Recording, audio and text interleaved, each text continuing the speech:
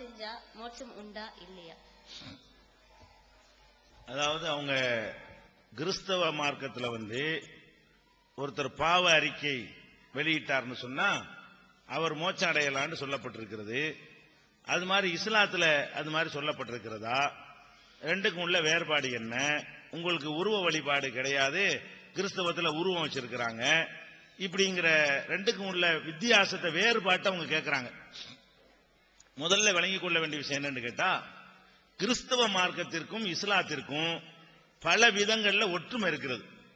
என்ன ஒற்றுமை இருக்கிறது? மறுமையின் நாங்க நம்புறோம் இல்லையா? கிறிஸ்தவர்கள் அதை நம்புவாங்க. பரலோக ராஜ்யம் அவங்க சொல்லுவாங்க. நாங்க மறுமை என்று சொல்லுவோம். நாங்க சைத்தாண்டு இருக்கிற நம்புவோம் அவங்க சாத்தாண்டு அவங்களும் சொல்லுவாங்க. நாங்களும் சொர்க்கம்னு சொல்லுவோம் அவங்களும் என்ன செய்வாங்க? சொர்க்கம்னு செய்- சொல்லுவாங்க. அதே மாதிரி வந்து நாங்கள் மதிக்கக்கூடிய இப்ராஹிம் அவங்க ஆபரகாம்னு சொல்லுவாங்க. நாங்க நூகுண்டு சொல்லுவோம். அவங்க நோவான்னு சொல்லுவாங்க. நாங்க யாக்கூபுமோ அவங்க யாக்கோப்புன்னு சொல்லுவாங்க. நாங்க யூசுப்னு சொல்லுவோம். அவங்க ஜோசப்னு சொல்லுவாங்க. இப்படி எல்லாமே நாங்க ஆதம்னு சொல்லுவோம். அவங்க ஆதாம்னு என்ன செய்வாங்க? அவங்க சொல்லுவாங்க. இப்படியான ஒரு நாங்க இஸ்ராயில்னு சொல்லுவோம். அவங்க இஸ்ரவேல்னு சொல்லுவாங்க. இப்படி நிறைய விஷயங்கள்ல இஸ்லாமும் கிறிஸ்தவமும் என்ன செய்யுது ஒன்றுபட்டதாக இருக்கிறது. இந்த மகான்களை எல்லாம் நாங்களும் மதிக்கிறோம். ஆப்ரஹாம் இஸ்மவேலை எல்லாம் அவங்களும் என்ன செய்வாங்க? மதிக்குவாங்க. தாவீது ராஜான்னு அவங்க சொல்லுவாங்க. நாங்க தாவூதுன்னு சொல்லுவோம். நாங்க சுலைமான்னு சொல்லுவோம். அவங்க சாலமோன்னு சொல்லுவாங்க. எல்லாம் ஒரே ஆள் தான். ஒரே ஆளத்தான் அவங்க சாலமோன்பாங்க. நாங்க சுலைமான்னு சொல்லுவோம். இந்த மாதிரி விஷயங்கள்ல கிறிஸ்துவ மார்க்கத்திற்கும் இஸ்லாத்திற்கும் ஒரு நெருங்கிய ஒரு தொடர்பு இருக்கிறது. எங்க வேறுபடுதுன்னு கேட்டா இஸ்லாமும் கிறிஸ்தவம் எங்க வேறுபடுதுன்னு கேட்டா கிறிஸ்துவ மார்க்கத்தினுடைய பேசிக்கான ஒரு அடிப்படை. என்ன அடிப்படை? ஆதாம்னு முதல் மனிதர் இருக்கிறார். அவர் வந்து கடவுள் படைச்சு என்ன செஞ்சாரு? இந்த தோட்டத்தில் உள்ள எல்லாத்தையும் நீ சாப்பிட்டுக்க. இந்த மரத்தை மட்டும் கிட்ட போவாதன்னு ஒரு மரத்தை காட்டி இந்த மரத்தை நெருங்காதன்னு சொன்னார். ஆதாம் என்ன பண்ணிட்டார்? மீறி அதை போய் சாப்பிட்டு விட்டார். யாரு நம்ம எல்லாருக்கும் தகப்பனார் இருக்கார்ல முதல் மனிதர். அந்த முதல் மனிதர் வந்து கடவுள் கட்டளையை மீறிட்டார். மீறின உடனே கடவுள் என்ன பண்ணார்னா சொர்க்கத்திலிருந்து வெளியேற்றி போங்கடான்னு சொல்லி ரெண்டு பேரையும் வெளியேற்றிட்டார் இது பைபிள்லையும் சொல்லப்பட்டிருக்கிறது. இது எங்க குரான்லயும் சொல்லப்பட்டிருக்கிறது இந்த- இந்த சம்பவம் வந்து குரான்ல இருக்கிறது பைபிள்ல இருக்கிறது. இதுல கிறிஸ்தவர்கள் இது என்ன பண்றாங்கன்னு கேட்டா ஆதாம் பாவம் செஞ்சாரா இல்லையா? பாவம் செஞ்சதுனால எல்லாரும் பாவியாக பிறக்கிறார்கள். அவர் பாவம் செஞ்சதுனால பாவியுடைய மகன் பாவி பிறவி பாவம்னு ஒண்ணு இருக்கிறது.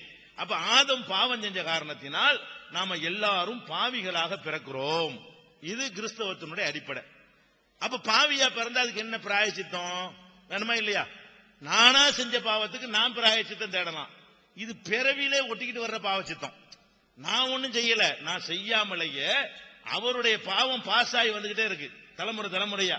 இதுக்கு ஒரு பிராயச்சித்தம் பண்ணணும். என்ன பிராயச்சித்தம் அப்படின்னு கேட்டா ஒரு உயிரை பெரிய உயிரை பலி கொடுக்கணும்.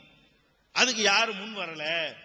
இயேசுநாதர் முன் வந்து தன்னைத்தானே இந்த அத்தனை பேருடைய பிறவி பாவத்திற்காகவும் தன்னைத்தானே பழகிட்டு கொண்டார். பழகிட்டதுனால அவர் செஞ்ச அந்த பாவத்துக்கு இங்கதான் பிராயச்சித்தம் கொடுக்கப்படுது. கொடுத்ததுனால அந்த பாவம் வந்து சுமக்கப்பட்டுருச்சு. யார் இதை ஏத்துக்கொண்டு இதை ஏத்துக்கொண்டு ஒப்புக்கொள்றதுக்கு பிறகு தான் பாவ அறிக்கை யார் இதை ஒத்துக்கொள்கிறாரோ அவர் மோட்சம் அடைவார் என்ன ஒத்துக்கிறனே ஆதாம் பாவம் செஞ்சாரு அந்த பாவம் எங்களுக்கு தொடர்ச்சியா வந்து கொண்டே இருக்கிறது. அதுக்காக வேண்டி இயேசுநாதர் தன்னுடைய உயிரையே கொடுத்தாரு. அப்படி நீங்க ஒத்துக்கொண்டீர்களே ஆனால் மோட்சம் அடைவீர்கள் ஒத்துக்கிறலன்னா மோட்சம் அடைய மாட்டீர்கள் கிறிஸ்தவம் சொல்லுது. இது வந்து டோட்டலா இது தவறுன்னு இஸ்லாம் டிக்ளேர் பண்ணுது. பல விஷயங்கள்ல ஒத்து வந்தாலும் டோட்டலாக இது இந்த பேசிக்க தப்பு. எப்படி சொல்லுது இஸ்லாம்? ஆதாம் தப்பு செஞ்சாருங்கிறத இஸ்லாம் ஒத்துக்கிறது. ஒருத்தன் தப்பு செஞ்சதுனால அவன் பிள்ளையும் பாவியா வருவாங்கிறது ஒரு லாஜிக்கா அது எப்படி வரும்? ஒரு கொலகாரம் புள்ள நல்லவனா இருக்க மாட்டானா? ஒரு நல்லவன் புள்ள கொலகாரனா இருக்க மாட்டானா? சேத்துல செந்தாமரம் முளைக்காதா? இஸ்லாம் என்ன கேக்குதுன்னு கேட்டா ஒரு மனுஷன் தப்பு செஞ்சா அவன் தான் பாவி. அவனுக்கு பிறகுற பிள்ளையெல்லாம் பாவிங்கிறது எந்த எந்த நாட்டு சட்டம் இது? எந்த உலகத்துல நீதிமன்றத்திலேயாவது சட்டமா ஏத்துக்கிட்டானா? கிறிஸ்தவர்கள் ஆட்சி செய்யற நாட்டிலையாவது அப்பன் செஞ்ச தவறுக்காக வேண்டி பிள்ளைக்கு தண்டனை கொடுப்பானா? நான் கொலை பண்ணிட்டா என் பிள்ளைய பிடிச்சி தூக்கல போடுவானா? அல்ல என் தகப்பனார் பிடிச்சி தூக்கில போடுவானா? என்னையத்தான் தேடி தூக்கல போடுவான்.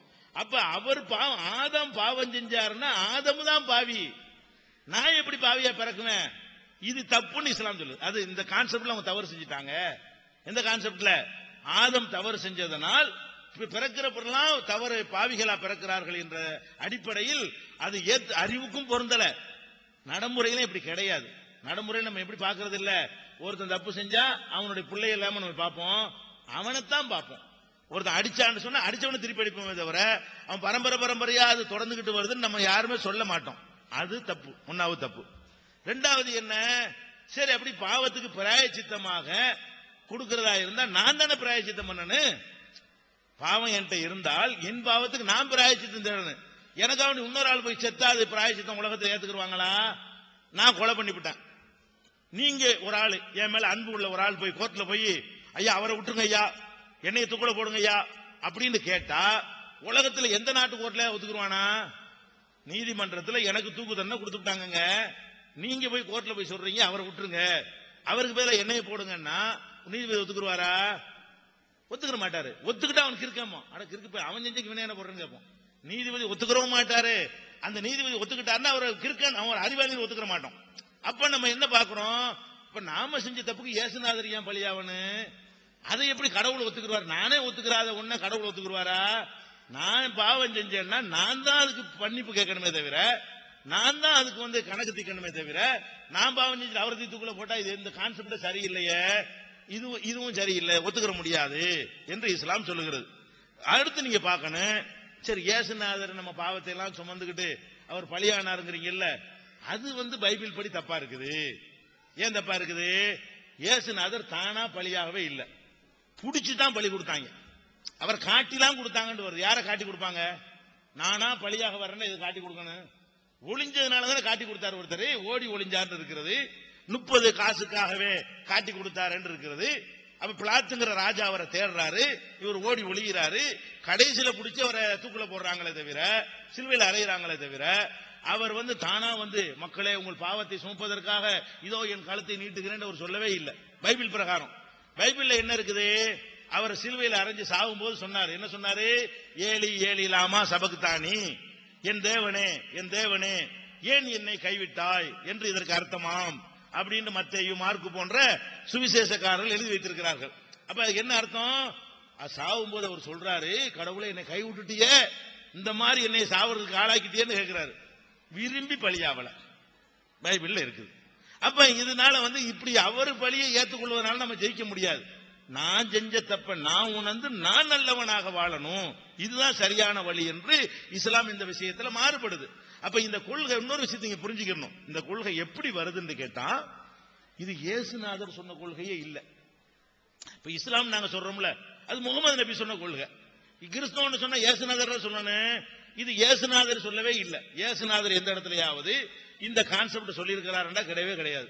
இயேசுநாதர் அவங்க நம்பிக்கை பிரகாரம் சிலுவையில் அறையப்பட்டு பல ஆண்டுகளுக்கு பிறகு பவுலுண்டு ஒரு ஆள் வந்து அவர் தான் என்ன பண்றாரு? இந்த கான்செப்டை உண்டாக்குறாரே தவிர இது இயேசுவுக்கு சம்பந்தம் இல்லாத ஒரு கொள்கை.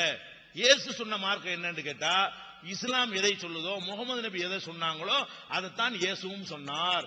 முகமது நபி என்ன சொன்னாங்க? ஒரு இறைவனை வணங்க சொன்னாங்க. மனுஷனை வணங்காதீங்கன்னு சொன்னாங்க.